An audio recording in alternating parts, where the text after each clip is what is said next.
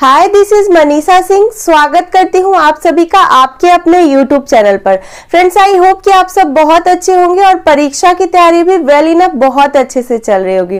तो हाजिर हूँ आप सभी के बीच फिर से एक और गवर्नमेंट जॉब के अपडेट के साथ, जो कि डायरेक्टली निकल के आ रही है। एसएससी की तरफ़ से सीपीओ की रिक्रूटमेंट टू के रिगार्डिंग एसएससी यानी कि स्टाफ सिलेक्शन कमीशन के तहत सीपीओ यानी सेंट्रल पुलिस ऑर्गेनाइजेशन में।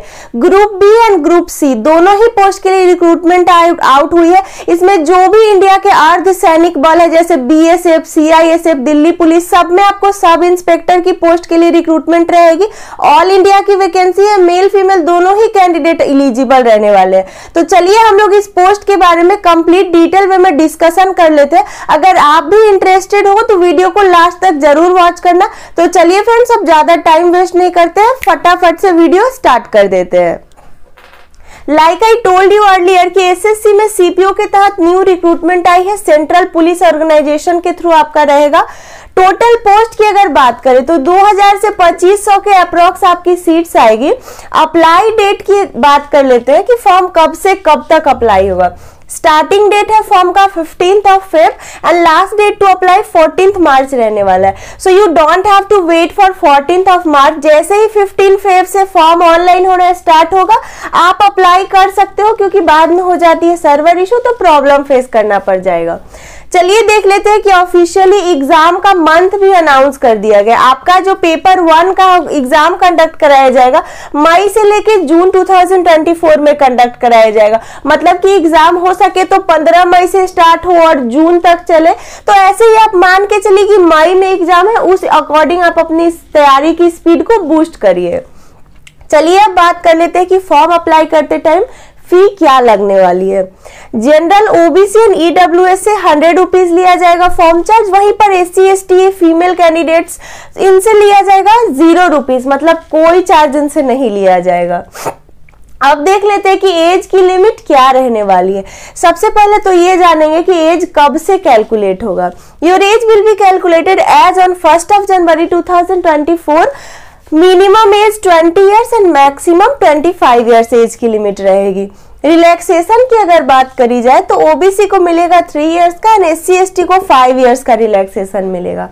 अब जो मोस्ट इंपॉर्टेंट एलिजिबिलिटी होती है कि एजुकेशनल क्वालिफिकेशन क्या होना चाहिए, आइए देख लेते हैं। अगर आप दिल्ली पुलिस में एसआई के लिए अप्लाई करना चाहते हो तो मिनिमम आपका होना चाहिए ग्रेजुएशन और साथ ही साथ ना यहाँ पर ड्राइविंग लाइसेंस कंपलसरी होता है। वहीं पर अदर पोस्ट के लिए सिंपली जो भी ग्रेजुएट्स है, सभी अप्लाई कर सकते हैं। डजेंट मैटर क्या परसेंटेज है ड्राइविंग लाइसेंस है कि नहीं, सभी ग्रेजुएट कैंडिडेट के लिए ये इलिजिबल रहने वाले हैं। तो चलिए अब बात करते हैं सिलेक्शन की प्रोसेस किन किन स्टेज से गुजरने के बाद आपका सिलेक्शन होगा। आपकी सिलेक्शन चार स्टेज पर डिपेंडेबल रहने वाली है। पहले स्टेज पर होता है आपका paper one exam online computer based exam होगा। सेकेंड स्टेज पे पीईटी एंड पीएचडी मतलब फ़िज़िकल एलिजिबिलिटी आपका टेस्ट होगा एंड फ़िज़िकल स्टैंडर्ड टेस्ट होगा। पीएसटी में होती है, आपकी फिजिकली मेज़रमेंट हाइट चेस्ट सब मेजर किया जाता है। पीईटी में बहुत सारी चीज़ें होती है, जैसे running race shot put long jump high jump चलिए इसको अभी आगे हम लोग डिटेल में डिस्कस करेंगे।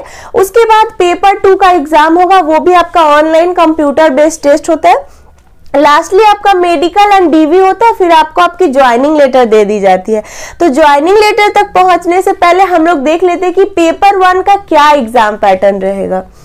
पेपर वन में होंगे आपके 200 क्वेश्चंस 200 मार्क्स के लिए। Time will be two hours दो घंटे का पेपर है 200 प्रश्न 200 नंबर के लिए। हर प्रश्न के लिए आपको एक मार्क दिया जाएगा। निगेटिव मार्किंग भी है 0.25 तो सावधानी पूर्वक आंसर करिएगा। अगर सब्जेक्ट वाइज बात करें, चार सब्जेक्ट से आपका यहाँ पर क्वेश्चन रहेगा। रीजनिंग के 50 प्रश्न 50 मार्क्स के लिए।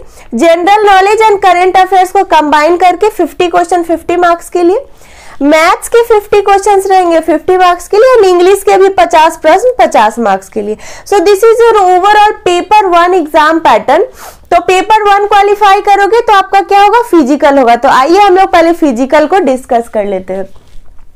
यहाँ पर आप लोग देख सकते हो फ्रेंड्स सबसे पहले पीएसटी होती है, जिसमें होती है हाइट की measurement male candidate general OBC and SC का minimum 170 centimetre ST candidate male का 162.5 सेंटीमीटर फीमेल्स के लिए जनरल ओबीसी और एससी का मिनिमम 157 सेंटीमीटर एसटी के लिए मिनिमम 154 सेंटीमीटर हाइट आप देख लिए, समझ गए, अब क्या होगा? चेस्ट की मेज़रमेंट होगी। ओनली फॉर मेल कैंडिडेट्स आपका जो है जनरल ओबीसी और एससी के लिए 80 टू 85 सेंटीमीटर रहेगा एसटी कैंडिडेट के लिए 77 टू 82 मतलब कि 5 सेंटीमीटर का एक्सपेंशन आपका यहाँ पर डिमांड किया गया है। और वहीं पर अब क्या होगी आपकी? फ़िज़िकल इफिशियंसी टेस्ट पहले होगा रेस 100 मीटर की रेस 16 सेकेंड में कंप्लीट करना होगा मेल कैंडिडेट को. फीमेल्स को 100 मीटर की रेस 18 सेकेंड में कंप्लीट करना पड़ेगा. उसके बाद रनिंग होगी 1.6 kilometre in six and half minute मतलब साढ़े छह मिनट में 1.6 किलोमीटर का आपका रनिंग मेल के लिए.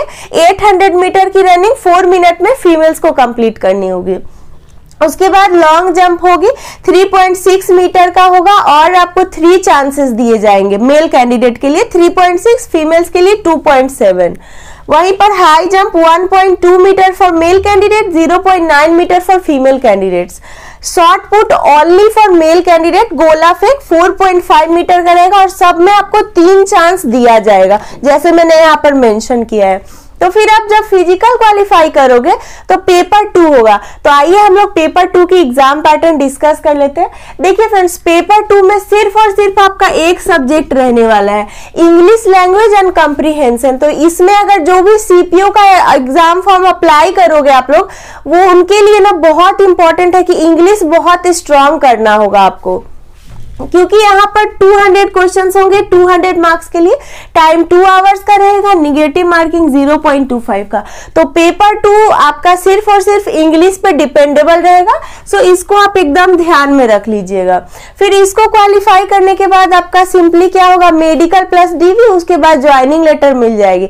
तो ज्वाइनिंग लेटर मिलने से पहले मैं एक बार और क्लियर कर देती हूँ कि ये अर्धसैनिक बल और दिल्ली पुलिस एसआई के लिए तो आइए देखते हैं department, Delhi police, BSF, CISF, CRPF, ITBP and SSB. ये सभी अर्धसैनिक बल और दिल्ली पुलिस का एसआई के लिए ये वैकेंसी रहेगी। तो एज अ सब इंस्पेक्टर आपको इन सब डिपार्टमेंट में वर्क करना पड़ सकता है। रही बात की एग्ज़ाम सेंटर कहाँ रहेगा? फॉर्म फिल करते टाइम आपको ऑप्शन मिलता है three nearby city choose करने का। आप जहाँ चूज़ करोगे, वहीं पे एसएससी आपका एग्ज़ाम कंडक्ट कराएगी। उसके बाद आपको जब ज्वाइनिंग लेटर मिलेगी तो जहाँ पे आपको एलोकेट किया जाएगा ऑल ओवर इंडिया में, अगर दिल्ली पुलिस में होता है तो दिल्ली में सर्व करना पड़ेगा। और सर्व करोगे तो क्या सैलरी मिलेगी? आइए मैं क्लियर कर देती हूँ।